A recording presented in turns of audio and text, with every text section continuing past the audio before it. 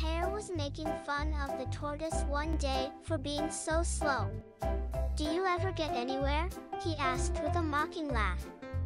Yes, replied the tortoise, and I get there sooner than you think. I'll run you a race and prove it. The hare was much amused at the idea of running a race with the tortoise, but for the fun of the thing he agreed.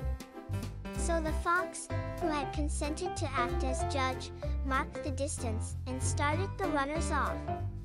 The hare was soon far out of sight, and to make the tortoise feel very deeply how ridiculous it was for him to try a race with a hare, he lay down beside the course to take a nap until the tortoise should catch up.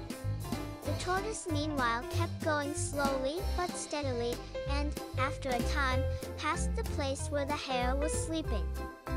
But the hare slept on very peacefully, and when at last he did wake up, the tortoise was near the goal. The hare now ran his swiftest, but he could not overtake the tortoise in time. Slow and steady wins the race.